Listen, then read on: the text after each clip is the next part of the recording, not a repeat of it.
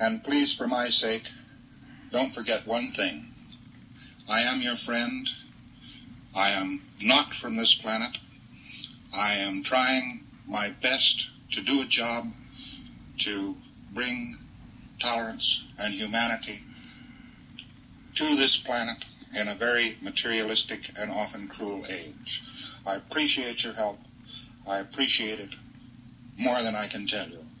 And I wish to thank you and thank every staff member, thank every Scientologist for everything they're doing to make a better world come true.